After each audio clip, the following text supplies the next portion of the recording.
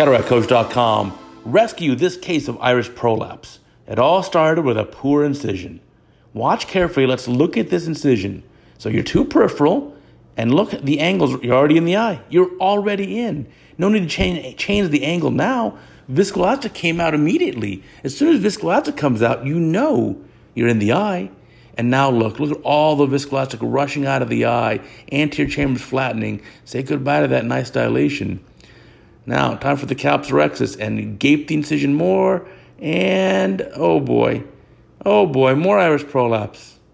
So now a little viscoelastic on top of it, I hope.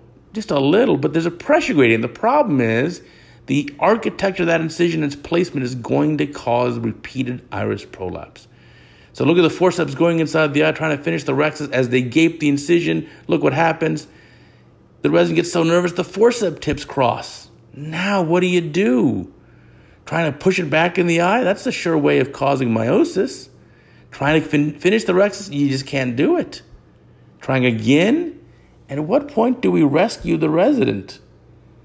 So, again, we can't damage the iris this much. You got to be a little more cautious. What you're doing is just not working.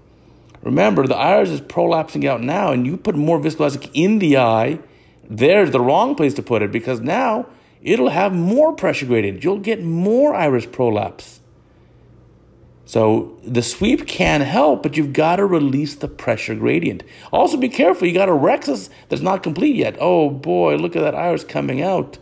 All right, it is time for some help. So what we're going to do here is let's take over. Going to sweep it in. A sweep can help and depress. Look at the intentional depressing to get rid of that pressure gradient. Yes, you got to do that. Now we can make another paracentesis here.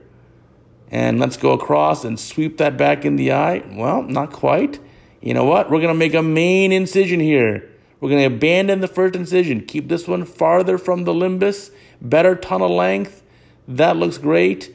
And now from here, we can sweep the iris back in.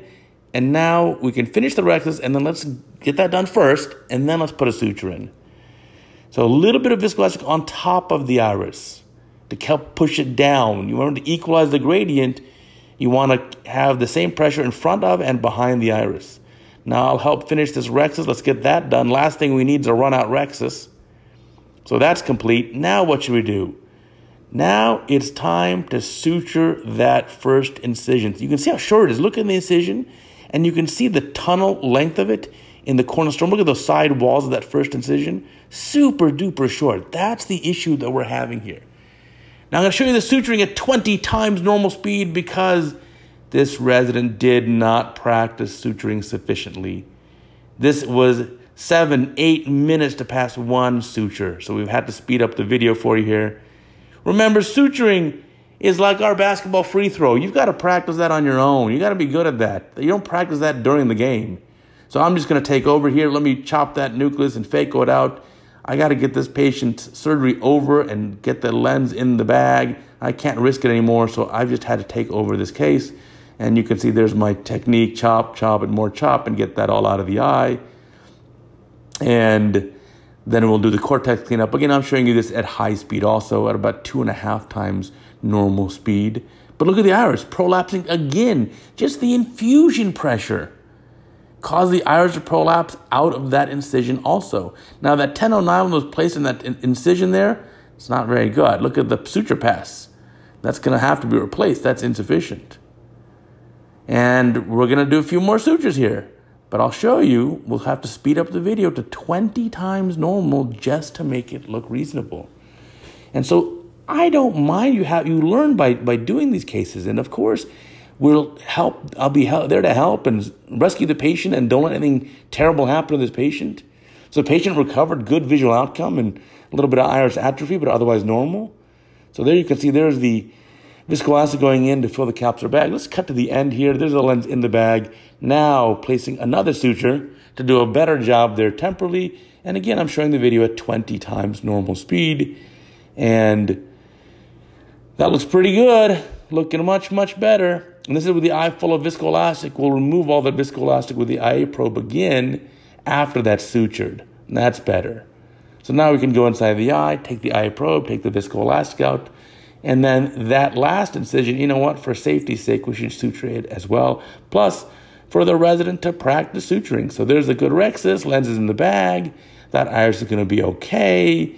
And the patient, fortunately, was very sweet and understanding. So, you know, when you're a resident, this is why you learn while we operate, but you got to practice certain things on your own. You've got to practice that suturing. I can't have you learning how to do a 10 nylon for the very first time on a patient in the surgery. Those are things to practice ahead of time. So now, passing the another suture, this is a little bit better, still sped up to 20x normal, and we'll get that done, get that knot rotated. But I'd estimate it's at least 500 sutures. That should be your minimum goal. And don't say I did about 100. Just say I did exactly 558, and I'll be impressed. Thanks for watching. Thanks for watching these videos. And remember to go to cataractcoach.com and sign up for a free daily email. We'll send you an email every day with a great video like this and other surgical pearls that'll make you a better surgeon.